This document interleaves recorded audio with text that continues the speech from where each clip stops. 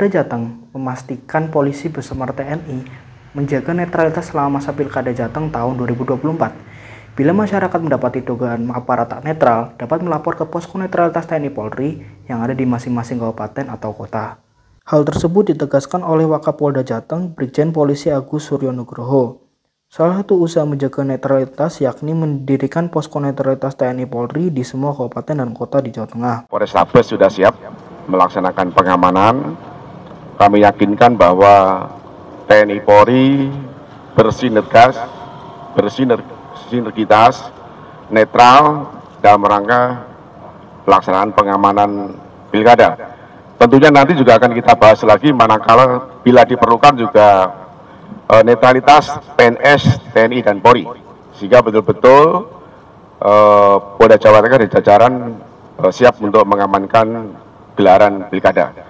Salah satu yang telah mendirikan posko netralitas yakni Polres Tabes Semarang. Posko netralitas di Simpang 5 ini sudah berdiri selama dua pekan. Di posko ini ada petugas polisi dari Polda Jateng dan polisi militer Kodam 4 Diponegoro yang setiap hari siaga.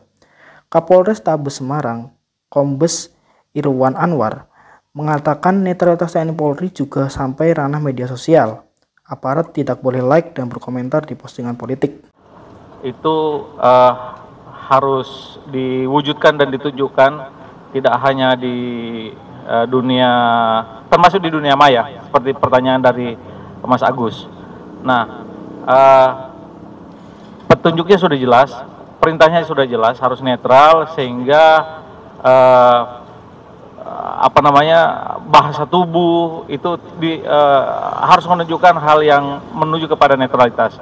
Kemudian uh, di dunia maya juga itu anggota polisi kalaupun uh, anggota TNI Polri dia tidak boleh berkomentar, memberi like, memberi support dan seterusnya yang terkait yang bisa memberikan pemahaman bahwa anggota TNI dan Polri itu tidak netral. Holi melaporkan dari Kota Semarang, Jawa Tengah.